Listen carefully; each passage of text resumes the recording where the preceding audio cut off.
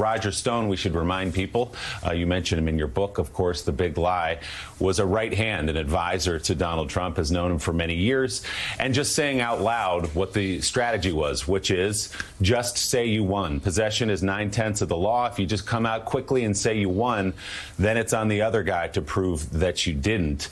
Uh, interesting, too, though, that he said before the election results came in, we're going to take you to court, we're going to fight it everywhere. Well, they did, and they lost 62 times in court when challenging election results. Yeah, nothing subtle at all about what we heard from Roger Stone there, Willie.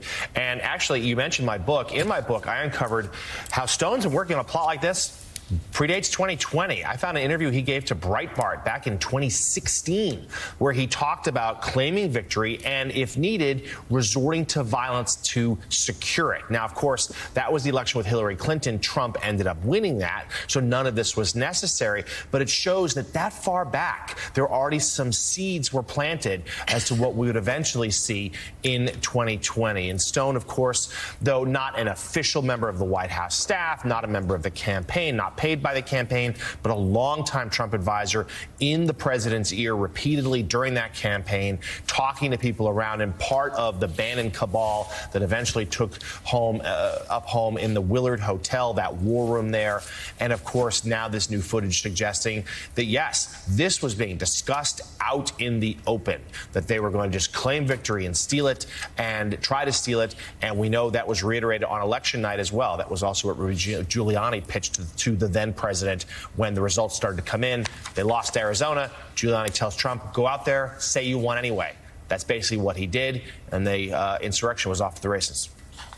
Yeah, and, and Gene Robinson, uh, you write about you write about this Trump wing of the Republican Party, which right now is the actual base of the Republican Party, and it is all out in the open. Revenge uh, replaces uh, working for the American people. Violence replaces uh, the support for a peaceful transition, sedition, um, uh, replaces um, uh, democracy. Uh, and, and I, I, keep talking about how it's so shocking that they're saying this all in the open. You have conservative, so called conservative thought leaders that are now openly saying that Western democracy does not work.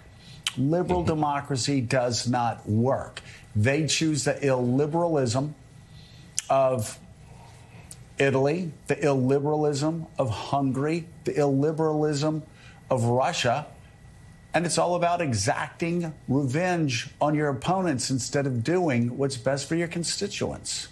Yeah, it absolutely is. It's it's it's it's what happens when a a criminal organization uh, uh, achieves power, seizes power in the United States. I mean, uh, maybe we're lucky that it that it never happened in the 200 plus years before this. But how do you distinguish Trump and the people around him from a, a, criminal organization? Are they more criminal or more authoritarian? It's hard to, you know, it's hard to pick. You can go either way on on a given day.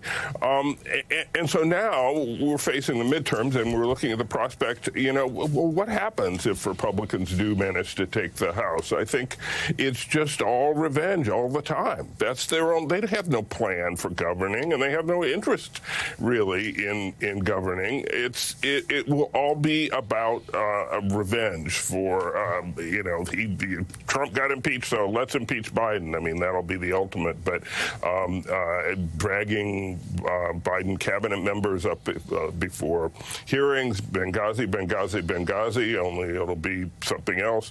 Um, this, that's what's happened to the Republican Party. It is, it is shocking, um, a, a, shocking example of devolution uh, into, um, you know, again, what's what's essentially a criminal slash authoritarian organization. Yeah, and uh, you know they'll be they'll be the first to admit it when when again when they talk about how Western democracy doesn't work, liberal democracy doesn't work, they'll be the first to talk about it. Mm-hmm. Uh, which again, they're admitting the quiet part out loud, as Donald Trump has always done. Uh, Michael Steele, listening to Gene Robinson, I'm just struck by the fact that we all get on TV and we talk about what's happening in the midterms, of course, because of history. historical trends in midterm elections. We're sort of grading on a curve, going, Democrats may mm-hmm. take control or, or may gain a few seats in the Senate. Of course, they'll lose the House, may not lose the House by as much as, but just stop right there. As you know, as Gene's talking about, if Republicans take control of the House by one vote, then the, the, this this exacting of revenge that they're now openly stating. We're not going to govern. We're going. We're going right. to to use any power we have to exact political revenge on our opponents because they won an election two years ago. That becomes the new reality. It becomes the reality for two years. No, listen. It's going to be bad for America over the next two years. Of course, if you look over the horizon, it'll be horrible for whatever Republican candidate is running in 2024. I don't want to get too far ahead of myself, but the biggest nightmare for Ron DeSantis, if he runs in 2024, would be Republicans taking control of the House and behaving this way because it'll turn off the middle. Uh, but let's not get too far ahead of ourselves. We'd have that constitutional crisis on our hands over the next two years uh, if they got in and decided to start moving forward with undemocratic, uh, you know, legislation or or or uh, uh we're just openly destructive the way they're talking about being right now. Well, so so you you you made I guess I use the word assumption. Um, will it turn off the middle? I don't know. I, I think that's the test mm. of this election. I mean, look, the, the Republican Party is telling you what we're all about. You've got, you know, Stefanik, you've got uh, McCarthy, you've got all these folks out here saying, uh, you know, we're we're about um, an agenda that involves investigation of Hunter Biden. You've got, um, you know, clarity on if we get power back, we're going to impeach uh, uh, Biden. That is that's a declarative statement. It's not a well, we'll think about it, maybe we will. No, no, we're going to do that.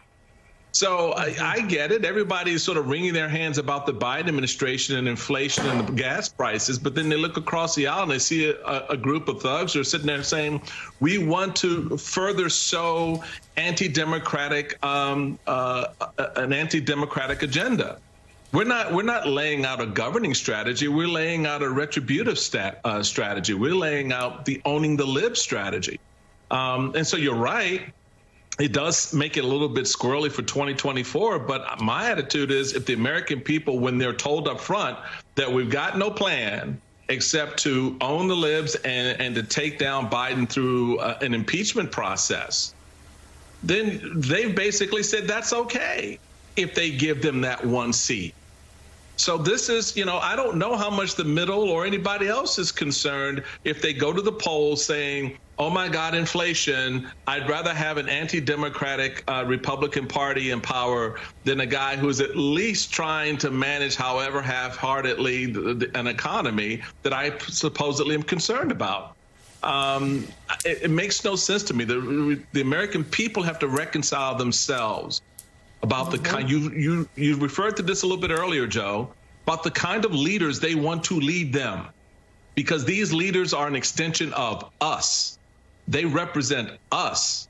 And so when they go out and they show their behinds, as my mama used to say, they're showing our behinds. We're we're part of that.